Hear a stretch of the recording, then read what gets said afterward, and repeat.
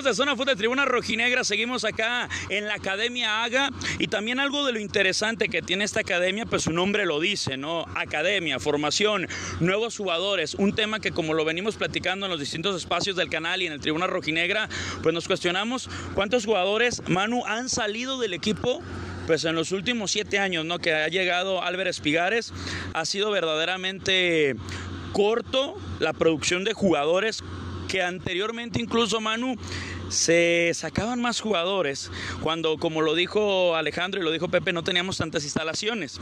Eran muy precarias y aún así teníamos. Tratábamos de echar memoria la otra vez, Manu, en el programa, que, no, alcanzaste a estar, de cuántos eran los canteranos que habíamos tenido verdaderamente consagrados. Y yo les decía que nada más dos, y medianamente eh, consagrados. Jairo Torres y Osiel Herrera. No sé si tú consideras alguno igual para meterlo en esta lista.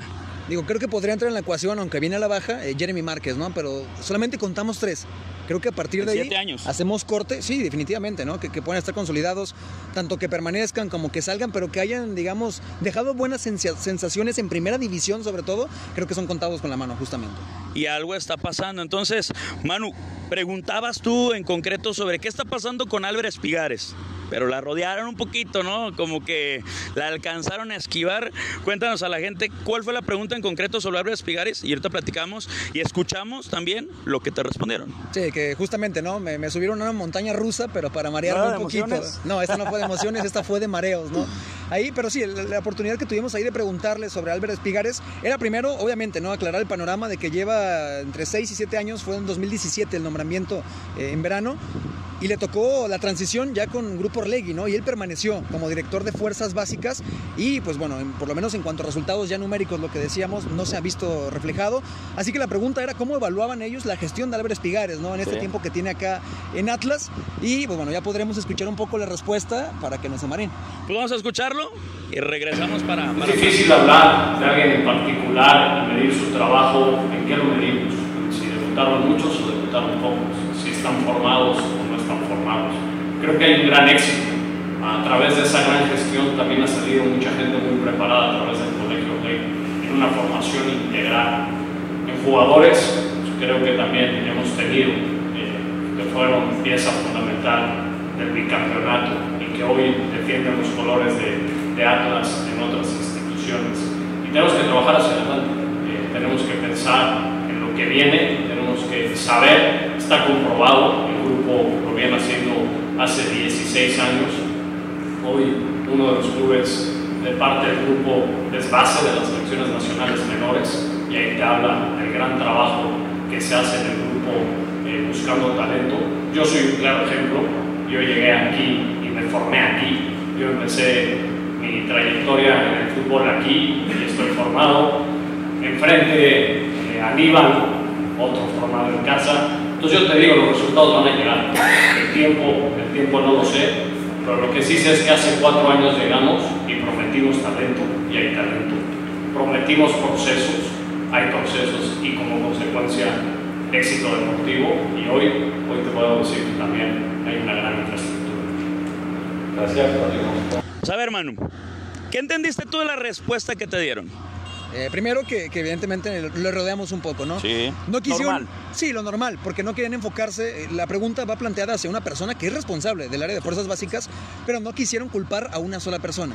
Eh, quisieron quizás justificar un poco el accionar de, de Álvarez Espigares en cuanto al nombre, en cuanto a la cabeza, pero aún así creo que si le ponemos un nombre o un departamento, que es todo lo de fuerzas básicas, pues al día de hoy, en seis años, no se ha visto quizás el reflejo del trabajo que tanto se prometió cuando llegó seis años, también se cuestionó cuándo este complejo que tenemos a las espaldas va a dar resultados, cuándo vamos a decir, ah, mira, este futbolista fue el primero que surgió de la Academia Haga y pues también nos dieron vueltas. Vamos a escucharlo a Pepe Riestra y lo platicamos.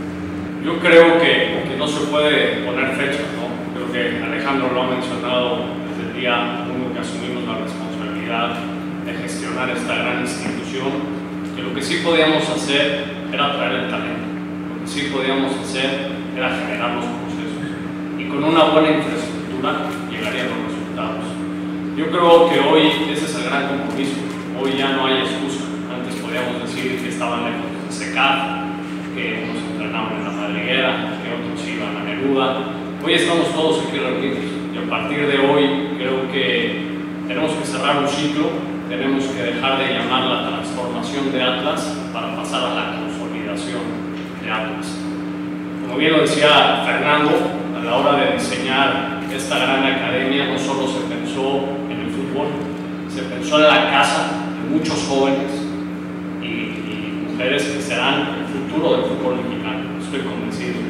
Esta ha sido la academia y por eso se llama así, la que ha desarrollado grandes talentos y hoy tenemos todo, tenemos todo en casa para poderlo hacer. A ver, hermano, aquí está ya la respuesta también, muy normal en Grupo Orlegui, no era fecha exacta. Lo vino pregonando mucho también con el tema de los campeonatos, con el tema de no es en dos, no es en tres, no es en cuatro años. ¿Cómo tomas tú la respuesta que nos dio Pepe Riestra?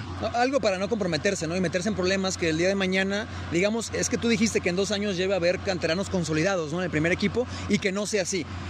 Yo me imagino y quiero creer, ¿no? Que, que, por el tipo de inversión que se está realizando en esta academia AGA, evidentemente debe haber un parámetro que se pueda medir, que sea medible justamente en el tiempo y debe tener un, un periodo también, ¿no? Ya acotado de cuándo esperan ver resultados de esta millonaria inversión que hablábamos de más de 400 millones de pesos, ¿no? Así que yo sí creo que internamente hay forma métrica de, de poder evaluar cómo resulta ya esta inversión, si hay éxito o hay fracaso incluso, ¿no? Que también sí. es una posibilidad. ¿Cuánto tiempo tendría que ser, Manu? Porque, a ver, no podemos decir que un año, no podemos no. decir que dos, tres, cuatro, cinco. ¿Cuánto? A ver, si llega una generación aquí de, tres, de futbolistas de 13 años, de ahí pudiera salir el primero, entonces hablaríamos de cuatro o cinco años. Yo creo que ya podría ser evaluable con los que ya forman parte de, por ejemplo, sub-17. Los que van a llegar de CAF. Justamente, que ya van a entrenar acá. Aún así, creo que el parámetro ideal, obviamente, es corto, mediano y largo plazo, ¿no? Para mi gusto sería 5, 10 y 15 años.